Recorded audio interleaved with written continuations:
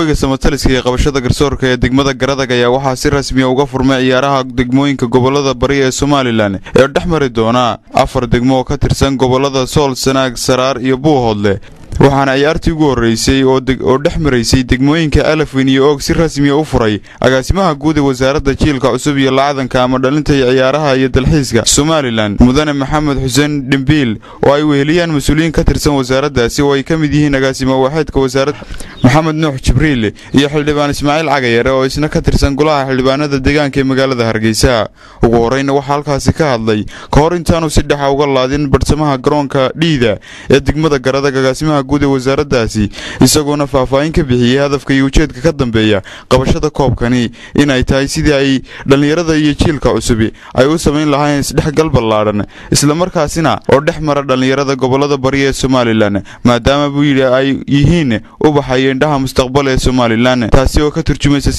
sidii ay uga qayb qaadan lahaayeen talada iyo isku tiirsanaanta iyo weliba ka midha dhalinta qadiyadda madax bannaanida somalilan ee mustaqbal. Haddaba ciyaartan oo ahayd maanta markii ugu horreysay ay fureen degmooyinka elafweyn iyo garadag ayaa waxaa qaybtii u hore ee ciyaartani daqiiqadii shan iyo soddonaad gool u dhaliyey degmada oog ciyaaryahanka sita lambarka sagaalaad ee magaciisu yahay cabdifataax dhaabo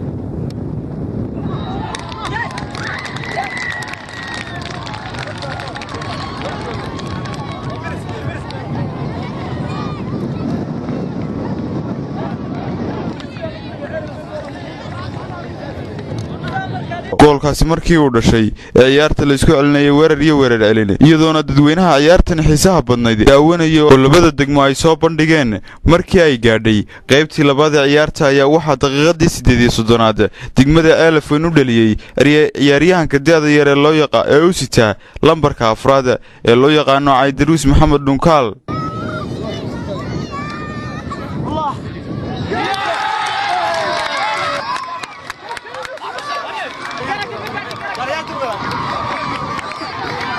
dhinaca kale munaasabad ku lamaanayd furitaankani ayaa lagu qabtay hoolka shirarka ee dowladda hoose ee magaalada garadag taasi oo qalab ciyaareed oo kala duwan lagu guddoonsiinayay guddidii ka mas'uulka ahayd qabashada koobkani waxaana halkaasi ka soo qayb galay maayirka degmada garadag taliyaha ciidanka asluubta magaalada garadag agaasimaha guud ee wasaaradda dhalinta iyo ciyaaraha xildhibaan ismaaciil cagayare iyo dadweyne kale oo aad u fara badan waxaana ugu horreyntii halkaasi ka hadlay maayirka degmada garadag oo ka mahadnaqay qalabkani la soo gaadhsiiyey ciyaartooyga ay ciyaaruhu bilaabmeen. Sidoo kale waxaa isna halkaasi ka hadlay xildhibaan ismaaciil cagayare oo isna ka mid ah xildhibaanada golaha deegaanka magaalada hargeysa oo sheegay inay tallaabadani tahay tallaabo aad u wanaagsan islamarkaana muhiim u ah oo mudan in lagu daydo. Dhinaca kale waxaa isna halkaasi ka hadlay agaasimaha guud ee wasaaradda dhalinta iyo sbortis oo halkaasi dhallinyarada kula dardaarmay inay ka caagaan iskagana waantoobaan ama ka fogaadaan dhaqamada xunxun ee ay kow ka tahay tahriibta iyo balwadaha isagoona ku isagoona ugu dambeyntii halkaasi guddoonsiiyey koobka la dhex dhigay degmooyinkani ay ku tartamayaan iyo qalabaadka kale ee ciyaaraha. Si kastaba ha ahaatee dadaalada noocani oo kalaha ee wasaaradda dhalinta ciyaaraha somalilan ay u fidinayso dhallinyarada